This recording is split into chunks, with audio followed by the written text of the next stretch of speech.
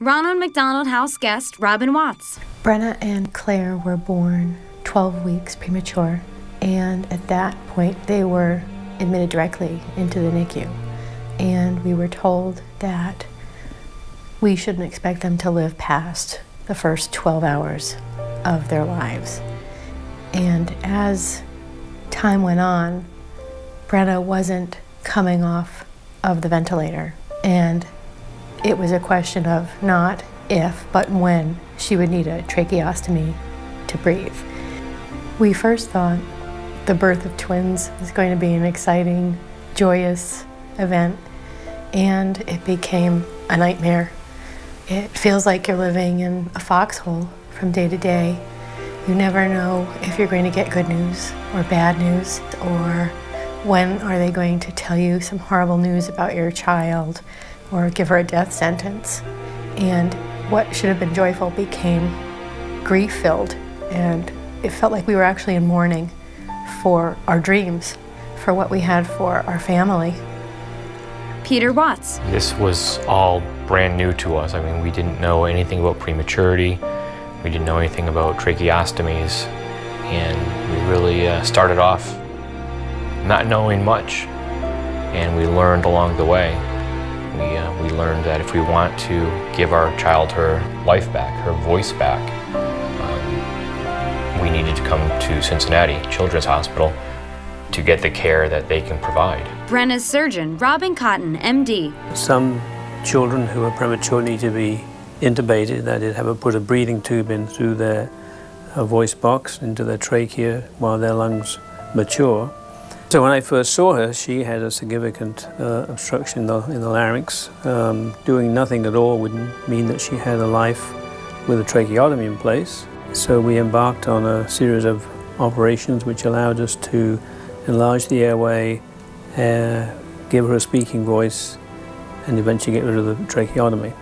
Peter. So one of my fondest memories is when Brenna first had her trach out and we were discharged successfully from the hospital. We were running out to pick up some odds and ends and I heard Brenna say from the back seat of the car, um, Dada, for the first time without her trach. And that's a moment I will never forget because my child spoke. And she spoke without mechanical assistance. When we first bring Brenna into the hospital for a procedure or any sort of surgery, she sees it as this is going to be okay.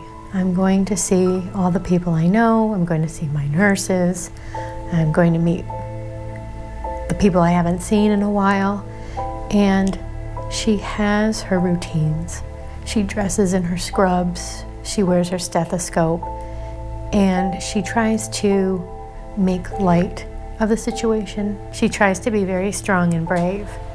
And deep down, we know that she's been through this before. And we know that this is how she's distancing herself from the fact that she's actually going to have to go into the operating room. The reality is, when Brenna gets that bracelet on and she knows that's the starting gun, it's time to start the race, it's also the race for us too. And as routine as it might be, because we've done it so many times, we never know what's going to happen. So you take a deep breath, you go into the battle, and start the race, and hope for the best. Brenna, under anesthesia and surrounded by medical specialists, lies in a hospital bed, her doll by her feet. If it wasn't for the Ronald McDonald House, we couldn't have been able to do this for Brenna. On so many levels, we couldn't do this, both financially and emotionally. Financially, that's without explanation. I mean, this is such an incredible facility that gives us a bed to sleep in, a shower to clean up in, um, a kitchen to eat in. And it takes that stress of wondering, what am I going to do tonight for dinner? It takes that out. Emotionally, this place, the house is, it's almost unexplainable. It's,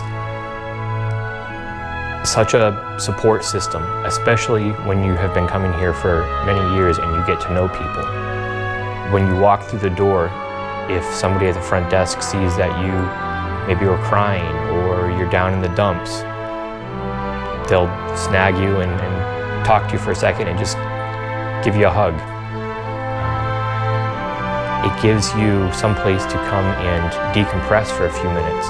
It's a chance to forget about some of the serious medical issues and focus on being human and focus on being a child.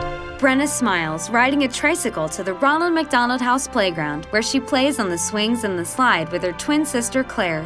Now, Executive Director Jennifer Goodin. We take families who feel adrift and scared and frightened, and we help bring routine and normalcy to their lives. You know, they meet other kids here who are going through the same thing, and the patients, the little kids really feel a sense of normalcy. They might meet another kid in their playroom who has a trach, and back home they're the only kid in their whole school with a trach, but here there's three or four others running around our house. So it really helps the kids to see that they're not alone.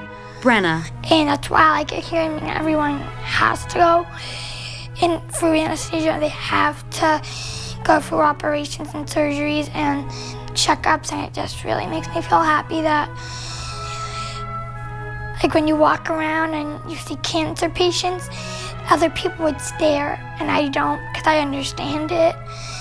That, oh, I feel so bad for them that they have to go through this. Cancer patients or any other kind of patient doesn't stare at me on my neck. I mean, I just hate when people stare at me and here they don't.